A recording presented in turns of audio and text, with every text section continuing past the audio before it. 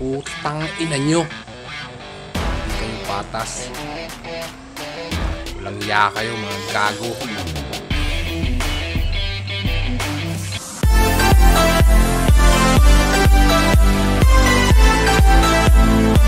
What's up mga kabro? Ah, pag-uusapan natin ngayon yung about sa mga toxic na mga putang inang mga YouTuber na yan. Yung yung sinasubscribe mo na sila tapos isusubscribe ka tapos kinabukasan i-unso i-unsubscribe ka nila. Bang sobrang bastos napakalupit. Pero kahit na ginawa nila sa akin yun hindi ko pa rin sila in-unsubscribe. Kung parang gustong gusto ko talagang malaki putang ina talaga. Nakakabuisit talaga mga toxic na yan alam mo an- alam niyo bang ngayon pa lang sa isang buwan kong pagbablog marami na ako natuklasan ng mga katarantaduhan na ginagawa ng mga toxic na mga mga vlogger na yan yung iba. Alam mo parang hindi sila patas hindi sila patas. Talagang hindi sila patas. Nakakainis nakakairita putang ina talaga. Alam mo mali ko rin eh kasi ngayon natuto na ako sa pagkakamali ko. Mas magandang gawin pag may na, kung may nanonood man ito please makinig ka. Mas magandang gumawa ka ng sarili mong video na magpapatok. Ginawa ko kasi gusto kong minamadali ko na umabot ng 1k yung subscribers ko. Kaya ginawa ko yun. Pumunta ako ng nagla live stream na yun papasub sa isa't isa yun pala puro pala mga toxic nandun. Nakakainis nakakairita. Kakabuisit. Alam nyo kung mga live stream live stream na yan oh, huwag kayong magano yan sasayang lang kayo ng panahon pupunta-punta kayo dyan. Wala yan kulilat yan totoo. Buti pang gumawa kayo ng sarili yung video mas maganda pa Di ko lang matanggap bakit ganun. Ano bang mawala sa kanila pag nag-subscribe sila? Di ba? Samantalang yung isang account mo, pwede ka makapag-subscribe ng unlimited. Hindi ko matanggap na pinapunta na nila ako sa channel nila. Nag-subscribe na ako. Tapos, inansab ako. Di ba ang bastos? Utang ina talaga.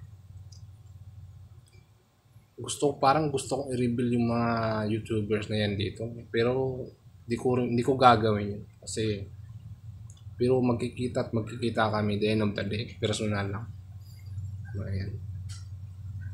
Nakita ko pa rin yung mga video nila. Kasi nakasubscribe ako. Pero, hindi ko nasu hindi ko gawain mag unsubscribe ng ano. Ginawa ko na eh.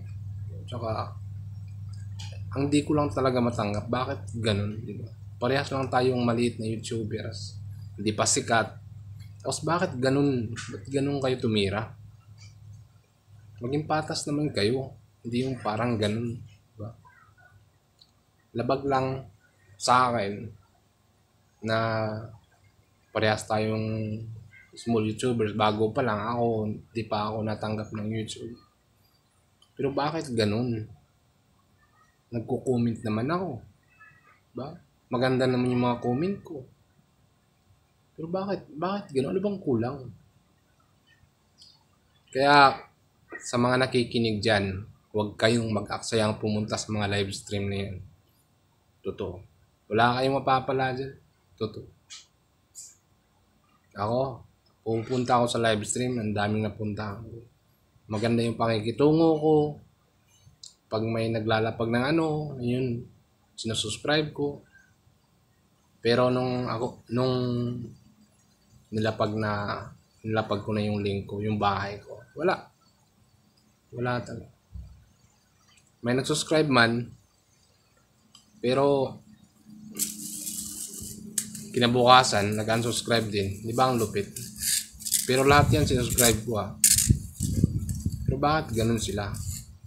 Bakit ganun kayo mga putang ina ngayon kung nanonood kayo sa live, sa video na to? Putang ina kayo. Diba? Pero natuto na ako. Hindi na ako pupunta sa mga live stream ng mga putang ina nyo.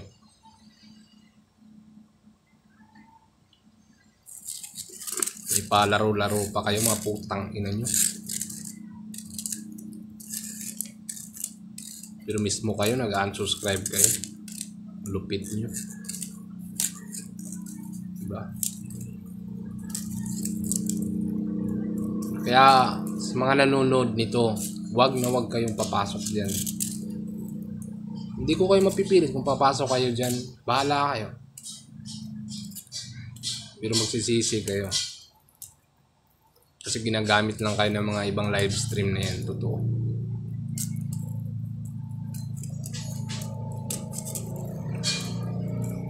Ako, patas naman ako sa patas eh.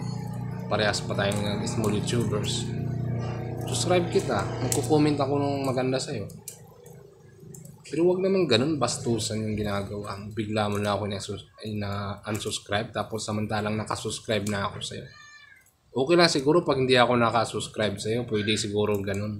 Kung nakasubscribe ka sa akin, hindi ako nakasubscribe sa'yo, i-unsub mo ako, okay yun, walang problema sa akin. Pero yung nakatalpak na ako sa bahay mo, tapos ganun yung gagawin mo sa akin. Ang pangit, di ba? Ang pangit talaga. Ba't may mga ganung toxic na kagaya nyo? Mga putang ina nyo.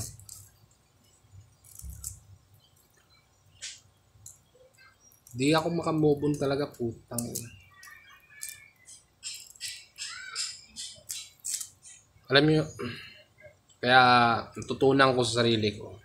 Hindi na hindi na ako hindi na ako ulit pupunta pa sa mga live stream niyo. Tangina. Parang wala namang special dun. Gagawa na lang ako ng sarili kong video. Buti pa. Kung yung nag-subscribe sa akin dyan, makakilala ko, appreciate ko, o yung iba mga bago pa dyan, kahit 20 pa lang yan, subscribe sa akin yan, appreciate ko talaga yan, honestly. The end of the day man, magkatanggap pa na ako ng YouTube, bibigay ako ng pag-iba ko, ito to yan. Kung may na may bago may bago pa man mag-subscribe sa channel ko ngayon, well, salamat, di ba?